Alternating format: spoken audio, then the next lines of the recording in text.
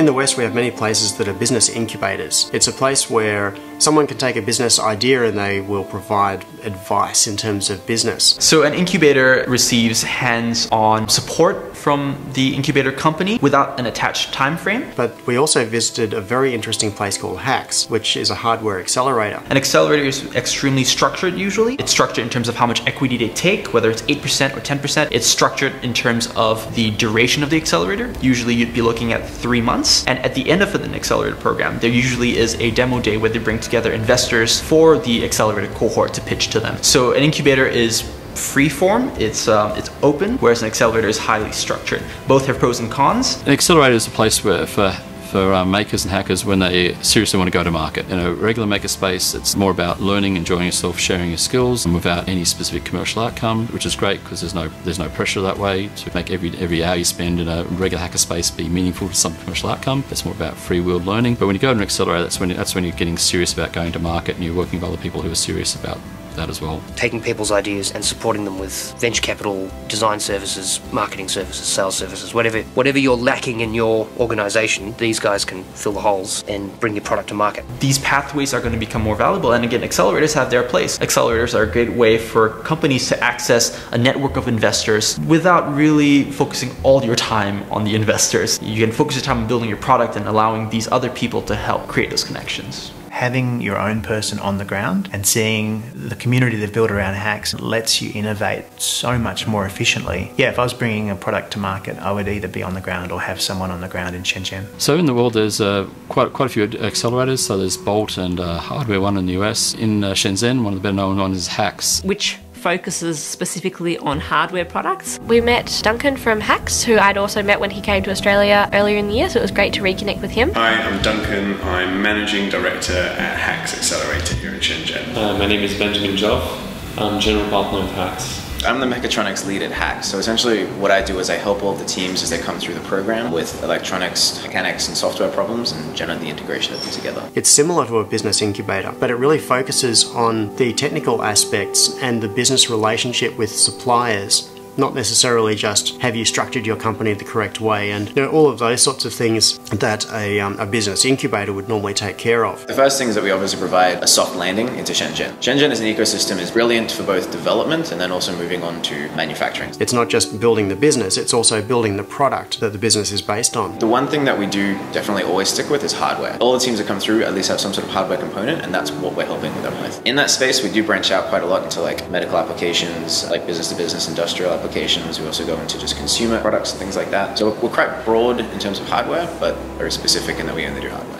HAX has been going for a while. It's got a, it's helped many many organisations, many startups. When we first went there on the wall, there must have been a few hundred or more plaques of all the organisations. So we sat there sort of pointing them out, going, "Oh yes, that's a that's, a, that's a Melbourne one." So the whole idea is that we find startup companies that have recently sort of gone to the stage of producing a physical prototype of some sort. We bring them to Shenzhen to make sure that they can begin developing their prototypes to a point that they can then either start moving into production or they can move into sort of pre-sales platforms, or in some case just have some sort of demonstration device of like a more complex technology they can present to investors, sort of like more people to start keeping their company train going. Because what HAX really is a foundation is a platform for product creators, designers, scientists, whoever they might be, bring something to life. When we visited HAX, we were told that we weren't allowed to film anything inside. That's because everybody there was working on early stage products. They are things that haven't come to market yet, and they don't want to be gazumped by someone else seeing what they're working on. We weren't allowed to photograph or really talk much about this because so you can see there's oh that there's that startup and you know, that's what they're doing, and there's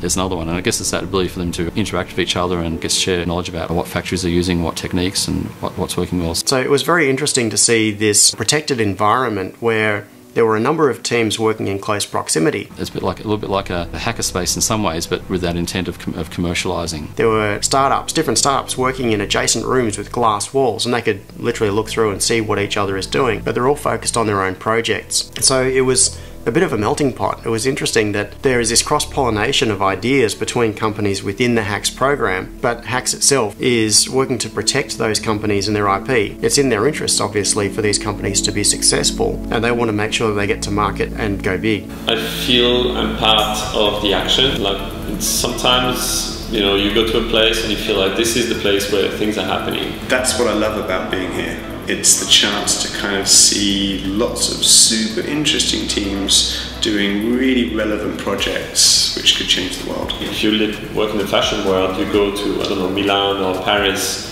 and you have that feeling. If you go, if you work in media, you go to New York, you go to Los Angeles, you feel that's the place. And for like tech innovation with hardware, this is definitely like the. We get a lot of teams that do some sort of like control systems theory and those sort of things, and I them with those as well as fundamental parts. And so obviously, some people are very skilled in some areas, but not necessarily so much in others. Basically, what they have is officers with their staff who, who have got contacts and experience. Occasionally, it's people who've, who've uh, had their own startup then, uh, and have gone through HAX, end up working for HAX. Coming from Brisbane, I originally had a startup of my own, and we began manufacturing in, in Brisbane. Turns out it was a bad idea for a few different reasons. Lost a lot of time, a lot of money, and then all of the components that we were ordering stands off the shelf were like 80% coming from Shenzhen. When I originally came here, sort of spent like four months kind of just understanding what the heck we were doing. So there's an experienced local and overseas people who can help you a startup. HAX, the holidays you come in, the guys set you up with like bank accounts. We have people, people help you translate, like a whole online community of people that tell you where you can eat if you're vegetarian. But then beyond that, we also have a team of about 25 full-time staff that can help you anywhere with electronics engineering, mechanical engineering.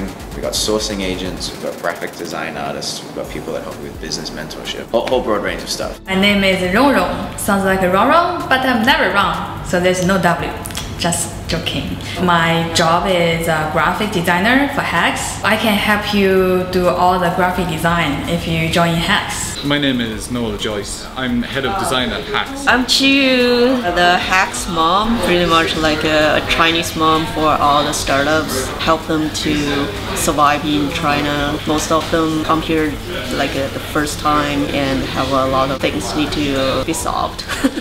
Generally, if, if you're someone that is very particularly, uh, very experienced, very intelligent, very good at doing one particular thing and you want to make a business, we are going to help you with all the other aspects in terms of taking your product into reality. Yeah, I like uh, all the creativity things, like to help people build their logo, how to show the product on the graphic. And they've got, I guess, social areas, so sort of kitchen and a bit of a, there's a table tennis table, of course, and a bit of a rooftop area. It's really nice. Then you go down into the building a bit more and they've got this reasonably well kitted out hacker or makerspace. So there's all, all the tools there. I think there's even like pick and place. What they provide is, it's a little bit like a hackerspace. They've got workshop full of every piece of equipment you'd ever want to use to build a product. They've got co-working spaces. They've got people who can show you how to use machines. And in many cases, uh, you know, people were making low volume production of their first prototype runs in space within HAX. Not only have they got all the machines that you could possibly need to make prototypes, but a lot of their most machines are just mini versions of what you'd see on the production line. So they've got mini pick and place machines, they've got CNC machines that are micro versions, which means that you can not only prototype your product, but you can prototype your manufacturing. It's almost like walking into a working R&D laboratory with all the resources available. And that kind of saves and shaves down a lot of time in, in, in taking a hardware product to market because, you know, it's, it's really well understood that hardware products are, they're hard. It's it's hard to get things to market when when you've got something that's physical. If you've got an idea for a project or a product and you want to bring it to market, you don't need to fit out your own R&D facilities in whatever city you live in. Basically, you take your tech team, go to Shenzhen for a little while, work at HAX, and you have all of the tools and facilities available to you. Meet new people every day, and uh, it's not like a, just a normal new people. All kinds of crazy people have the excellent ideas, so every day is very exciting. People who come here, they all have very high IQ and are very interesting.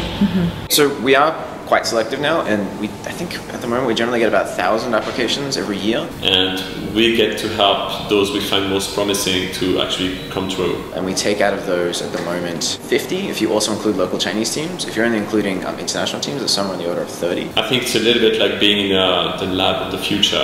Uh, I had similar impression going to MIT when you see their labs and you see the projects and it's all like crazy things. But generally, MIT stuff stays in the lab. I think what HAX is interesting, where it's really interesting to be at HAX, we have help those projects get out of the lab and into the world. Generally, it's just if you guys have really good business idea, if you have a really great team, have the confidence you guys are going to move forward and make a really great company, then you're in with a good chance. and because it's located within this Huaqiang Bei electronics ecosystem, HAX provides access to a whole lot of technology resources. So if you have an idea for a company, say you're an IoT startup or you want to come up with a new product, what you can do is go along and participate in a HAX program where they will put you in contact with people that will help you with design of your product, taking it all the way through to manufacturing. There's no platform like it that can help a founder go from literally just a, an idea in their mind with a working prototype they've hacked together to in three and a half months a fully resolved launchable device which they can then put out into the world and get real customers and then start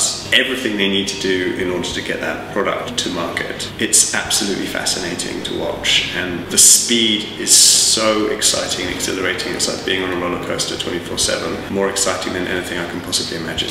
In fact, it's very strange going back home or finishing at the end of the program because you realize just how slow the rest of the world works outside of HAX. We can do the another accelerator in the universe, like in the moon or the Mars. Yeah. HAX is a kind of different because we're really flexible. A lot of things we do just uh, abandon all the rules. We think outside the box and we get it done. The other benefit to uh, HAX is they've been very strategic in their location. So we're in Shenzhen, which some people call it Silicon Valley of China. So it's in the south of China, just north of Hong Kong. And it's a really cool place because in the last 25 years, the Chinese government has essentially just decided that they're going to make it a mecca for electronics. And so they've poured billions of dollars in developing it up. So it went from about 25,000 people to now like 25 million people in about 25 years. So if you're working on any kind of a technology product, that puts them in a fantastic location. It means that you can take your team there and work on your product development and you couldn't be any closer to the action. Everything you need is at your doorstep. It's just it's a place where you're very nearby to a lot of manufacturing centers. And in particular where we are right now is the Huaqiang Bei Electronics Markets. So it's a place where you can find a whole range of electronics components, parts, everything like that literally downstairs, which is really useful for us. Almost everywhere we went in Shenzhen, we hopped in a bus for an hour. HAX was different. Right next to our hotel, above the electronics market, floor after floor of stands with components. And on the very top, HAX have taken out most of the top floor. So right now we're on the eighth floor, and the first to fourth floor of this building are all electronics components. It's like switches, connectors, fuses. HAX is located in the HQ Mart building right above the electronics markets in Waichung Bay. Yeah, uh, first time I came here was was a daunting experience in a good way. Literally in the elevator downstairs is everything you need to make whatever you're making, which is, I mean, that's a benefit you really can't level. If you are interested in coming into the program, make sure that you've gotten to the stage where you've actually started building something that proves your, your concept. The first thing that we always generally look for is functional prototype. Next thing is you need to have a really good team. So in particular, if you're going for a product that is really relying heavily on say like AI control or some sort of particular thing, you need to have someone on your team that can deal with those problems that are very unique to your particular problem. Beyond that, you need to make sure that you have a really good market that you're going into. So if you come in sort of like marketing a sweater for ferrets or something like that, we know that there's not going to be that many ferrets you can sell to. You really like go into some sort of emerging space. A lot of the teams that we have are moving into sort of like industrial robotics. I mean, a lot of them moving into like medical spaces that are just opening up with new technologies and things like that. And then the last kind of thing is just we get a lot of applications from people that are sort of like very casually into their company. So generally we go for people that really are dedicated and really sort of passionate about what they're doing so that we know they're going to be able to put it, push it through to the end because anyone that's done a startup knows that it's going to be hard times. You gotta you gotta break through. Now, HAX portrays itself as essentially a, an outsourced R&D department, but at their core, it's a VC business. So we invest money in the teams. In exchange, we give them help, we give them space, we give them whole bunch of sort of like access to mentorship and things like that. HAX will take a certain percentage of your company in exchange for being able to being their accelerator program. So most of the startups are pre-revenue. What we do is we, we find really good teams, we invest a certain amount of money in them, and we bring them um, through the whole program. And the whole idea is they take that cash and they use it during the program, sometimes after the program, to develop their product. What we take in return is equity in the company. What they are wanting to do is invest in companies that are going to be successful. We essentially just take a certain amount, and you know, once you guys go to IPO, start making a whole bunch of money, we make some of that back as well. So it's good in the sense that we are part of your team as soon as we do it. So as soon as um, we, we, take some of your equity, we're literally invested in, in your product. So it means that we're going to do everything we can to make sure that you get to that end stage. So the usual arrangement is that you have an idea for a product or a company, go along to HAX and participate in one of their programs. Typically, in exchange for all of the services and facilities they provide, they will take an equity position in the company. As part of that, following on from product development, they will introduce you to people who might assist with funding so you can do capital raising and then take the product that you've developed within the HAX environment to market. We're a global accelerator, but the way in which we use the resources here will change. There will be a shift from making and manufacturing to research and development, and then ultimately sales, because this will be a huge market to sell in as well.